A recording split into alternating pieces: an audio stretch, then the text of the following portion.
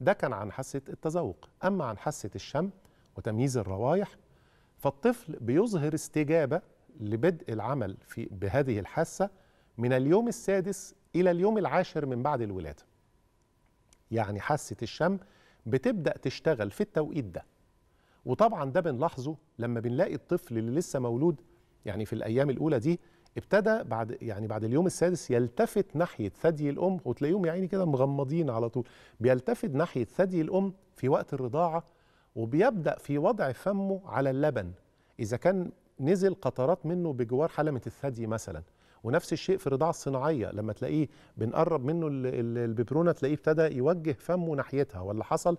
إنه شم ريحة اللبن سواء على ثدي مامته على صدر مامته أو في الببرونة وابتدى يتوجه إلى حيث الرائحة. لكن طبعا في الرضاعة الصناعية بتبقى الحساسية دي أقل شوية بتبقى واضحة قوي في الرضاعة الطبيعية. مع مرور الوقت هنلاقيه بيف... هنلاقي الطفل ده بيفضل الروائح الحلوة. وكأنه شفت أنا عملت إزاي؟ بياخد نفس عشان يستنشقها طبعا مش بياخد نفس كده يعني بس قصدي لو ركزتوا قوي فيه أو في الحركة بتاعته هتلاقوه زي ما يكون بيستنشقها زي ما يكون بيشمها. تمام؟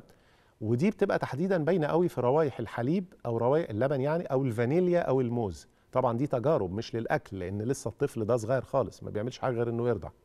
وهنلاقيه برضه في نفس العمر الصغير ده في الشهور الأولى أو يعني سوري في الأسابيع الأولى وفي الشهور الأولى برضه هنلاقيه يتجنب أو يتضايق من روائح تانية خالص زي روائح الكحول أو روائح بعض العطور القوية. وهنا أنا عايز أقول كلمة للأمهات والآباء إن في أمهات وآباء الحقيقة بيحبوا يحطوا عطور ودي حاجة جميلة على فكرة. لكن خلوا بالكم إن ممكن الحاجة اللي عجباكوا دي أو النوع اللي عجبكوا ده لاحظوا بس رد فعل طفلكم الصغير وانتوا شايلينه.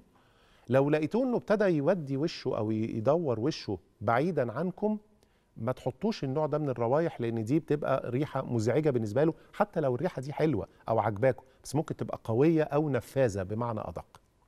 أما بالنسبة لتمييز الروايح فالإنسان بيكون قادر على تمييز 9000 نوع مختلف من الروايح.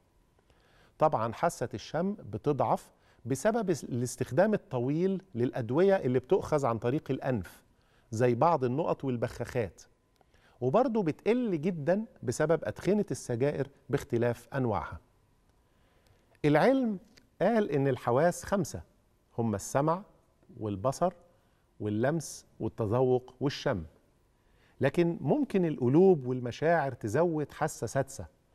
وهي توقع الحب والاهتمام. خلونا نخلي الحاسة دي عند أطفالنا. خلونا نزود عند أطفالنا الحاسة السادسة دي لأن الفطرة الإنسانية بتؤكد إننا كلنا قادرين نوصل الحب والاهتمام لأطفالنا. وأول ما نعمل كده هيبقى الطفل ساعة ما يبص لنا بس يتوقع مننا إن إحنا بنضحك في وشه إن إحنا هنحضنه إن إحنا هنطبطب عليه إن إحنا هنشيله إن إحنا هنعلمه حاجة جديدة إن إحنا هنمسك إيده وهكذا.